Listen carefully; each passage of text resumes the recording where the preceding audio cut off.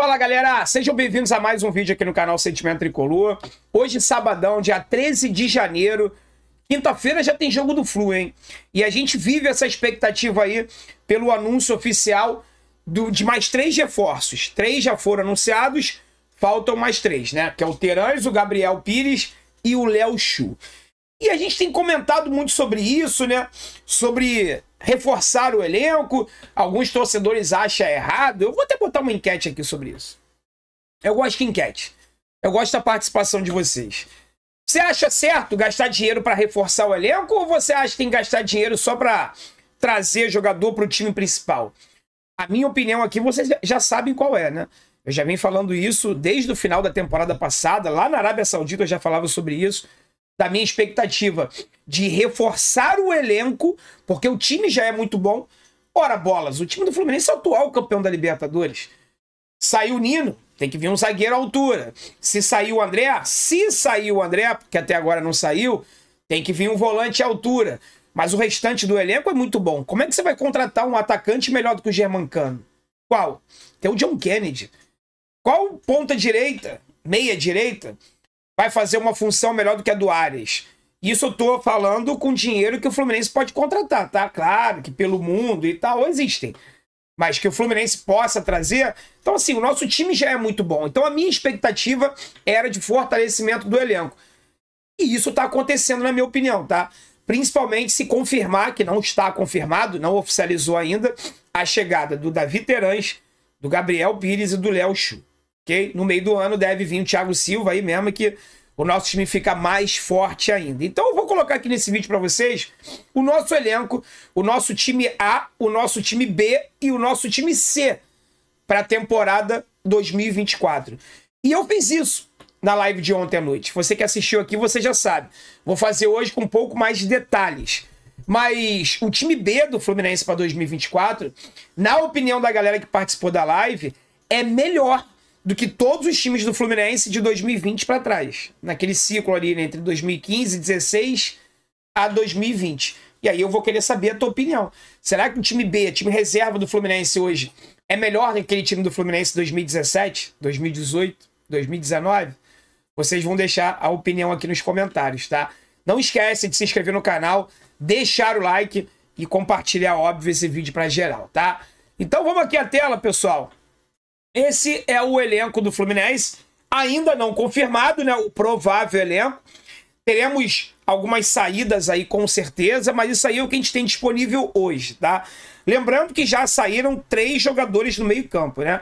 O Daniel, que está indo para o Vitória, o Léo Fernandes, que está indo para o Penharol, e o Giovani, que já se despediu, término de contrato, não renovou com o Fluminense. Então, estão chegando três jogadores no meio, além do Nino, né? Claro. Estão chegando três jogadores no meio-campo porque saíram três jogadores no meio-campo. Chegou um zagueiro porque saiu um zagueiro. E tá, tá chegando mais três homens de frente lá para poder reforçar ainda mais o nosso elenco. Então vamos lá. Time principal do Fluminense, tá? O considerado time titular. Fábio Samuel Xavier. Na zaga é uma grande incógnita, tá? Então tem essa opção: Marlon e Felipe Melo, Antônio Carlos e Felipe Melo, Antônio Carlos e Marlon.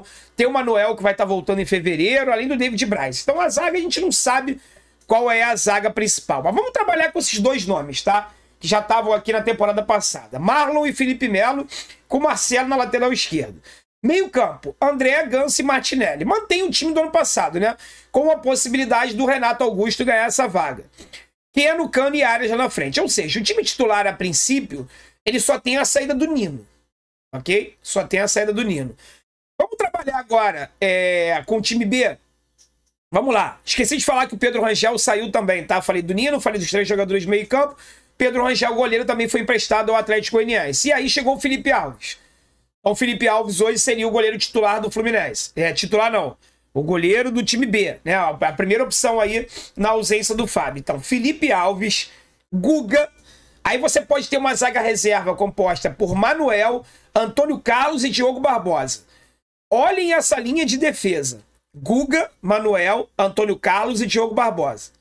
E aí eu quero que você comece a pensar, comece a refletir nos times do Fluminense 2019, 2018, 2017. tá? E me diga se esse time B aí não deu um upgrade absurdo em relação ao time do ano passado, tá? Ao time reserva do ano passado. A gente pode ter um meio-campo, pessoal, com o Alexander, Renato Augusto, Gabriel Pires ou Lima. Isso é o time B. Isso é o time reserva. Tá? A gente pode ter um meio-campo com Alexander, Renato Augusto, Gabriel Pires ou Lima. Na frente, você pode ter o Terãs, o John Kennedy e o Léo Chu. Esse time que eu tô olhando para vocês agora, repito, seria o time reserva do Fluminense. Felipe Alves, Guga, Manuel, Antônio Carlos e Diogo Barbosa. Alexander, Renato Augusto, Gabriel Pires ou Lima. Terãs, John Kennedy e Léo Chu. Ainda como opção no banco de reservas, não. Um terceiro time. Vamos escalar, vamos escalar agora um time C do Fluminense. Ok? Uma terceira equipe. Teria o Vitor Eudes no banco de reservas. Teria o Calegari na lateral direita.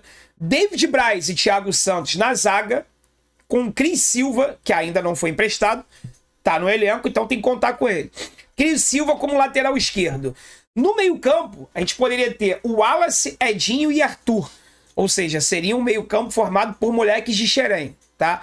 No ataque, você tem a opção do Ione Gonzalez, você tem a opção do João Neto, do Isaac e do Cauã Elias. Tá? Do Cauã Elias. Ainda tem que não tá aqui. Nós esquecemos de colocar aí. Aí o Xerém Memes vai ficar pistola comigo, né? Do Lelê. Ainda tem a opção do Lelê. É tanto jogador, galera, que a gente até esqueceu de colocar aqui na imagem o Lelê. Né? Ali, Arias, Teran, John Kennedy. Não, não tem aqui o Lelê. Ainda tem a opção do Lelê. Tá? Que fatalmente estaria nesse time reserva. Mas aí eu pergunto, jogando no lugar de quem? Ele ia jogar no lugar de quem? Ele, ele ia ficar no lugar do Terãs? Porque o Terãs pode fazer a camisa 10, ele pode jogar pela direita, ele pode jogar pela esquerda. Ele ia ficar no lugar do Léo Chu, que tá chegando? Também não. Então, assim, o Lelê, ele passa a ser, na minha opinião, repito, com a chegada de todos esses reforços, uma terceira opção. E ele jogaria nesse time aí, ó. Junto com o Ione Gonzalez, Lelê, e aí na frente de centroavante, João Neto ou Cauã Elias. A gente tá falando do terceiro time do Fluminense. Tá?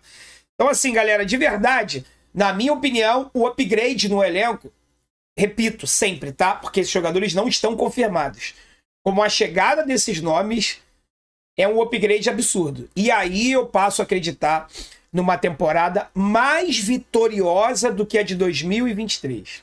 Pronto, Andrezão se empolgou. Não, mano, questão de se empolgar não. É questão de análise.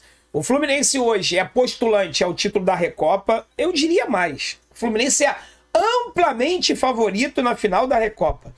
A LDU perdeu o seu treinador, saíram alguns jogadores e acabou de sair a notícia ontem que eles tomaram um transfer ban da FIFA. Ou seja, não podem contratar. Tá? Então tá numa crise muito grande. O Equador, o país em si, tá numa crise danada, sofrendo uma onda de ataque terrorista. Então, assim, a situação da LDU não é nada boa e sim, o Fluminense tem a obrigação e o dever de esmagar a LDU. Tá? E fechar definitivamente aquele ano de 2008 e 2009. Então, o Fluminense recopa favorito. Campeonato Carioca, o Fluminense é amplamente favorito ao lado do Flamengo. Será que vão fazer a final por mais um ano? Já vem fazendo a final há alguns anos, né? Será que vão fazer? Amplamente favorito. Apesar do Botafogo e o Vasco virem mais fortes do que nos anos anteriores, o Fluminense é muito favorito ao lado do Flamengo. Campeonato Brasileiro, Copa do Brasil e Libertadores nem se fala, né? Libertadores, nós somos os atuais campeões da Libertadores. Então, obviamente que o Fluminense entra como um dos favoritos ao lado dos brasileiros, mais do River Plate. Tá? E Campeonato Brasileiro e Copa do Brasil, a gente é um dos postulantes também. Com esse elenco que eu acabei de colocar aqui na tela para vocês, caso essas contratações se confirmem, eu acho que a gente passa a ter um elenco muito mais forte do que a gente teve em 2023. Vou botar na tela aqui para vocês, vamos fazer uma comparação, tá? Saiu Léo Fernandes Daniel e Giovanni do meio campo. Chegou Renato Augusto, Gabriel Pires e Terãs. Aí eu te pergunto, houve uma subida de, de qualidade técnica ou não? Essa resposta é muito simples, né? Claro que houve. Claro que a gente dá um upgrade absurdo no elenco e era exatamente isso que eu esperava que fosse acontecer, o que eu queria que fosse acontecer. Porque contratar um jogador para ser titular do time do Fluminense hoje, com os recursos disponíveis que a gente tem, é muito difícil, né? Qual jogador vai chegar e vai barrar o Samuel Xavier, lateral direito? Lateral esquerdo a gente tem o Marcelo e o Diogo Barbosa. Beleza, se viesse o Guilherme Arana, pô, espetacular, mas vai tirar o Arana do Galo? Vai tirar o Piquerez do Palmeiras? Não vai. Então, muito difícil. Tá? No meio-campo, trouxemos o Renato Augusto. Temos o André, melhor volante do Brasil, que não saiu ainda, cara. A gente não pode ficar. Eu tava contando como o André fora, tá? Agora, com o passar dos dias e a falta de notícia, a falta de proposta pro André, eu tô começando a acreditar que ele possa ficar até o meio do ano. Então vamos começar a contar com o André. Aí você tem a opção do Ganso, do Renato Augusto, do Terãs. Na frente, o nosso trio. Quem chega hoje a barrar o Keno? Para mim, só o Dudu ou Bruno Henrique. Não vai acontecer. Então, Keno titular. Tem o John Arias, tem o Germano com o John Kennedy. Cara, nosso time é fortíssimo. Fortíssimo. E com essa reformulação repaginada no elenco para cima, eu considero que a gente entra mais forte na temporada 2024 do que a gente entrou no 2023. Então eu conquisto, eu, eu acredito num ano tão vitorioso ou mais vitorioso do que o de 2023. É difícil pensar isso, né? Porque 2023 a gente conquistou ela. Mas quem sabe? A gente vai estar na luta em todas as competições. Tá legal? Muito obrigado você que chegou até aqui. Se você não tiver deixado o likezão, puder deixar agora, é muito importante para o crescimento do canal, tá, pessoal? Então, se você puder deixar o like aí, se inscrever aqui no canal, eu vou ficar muito agradecido a você, tá bom? Fiquem com Deus, galera. Um forte abraço. Saudações tricolores e eu espero que a gente fale muito em 2024. Vitória, Fluminense!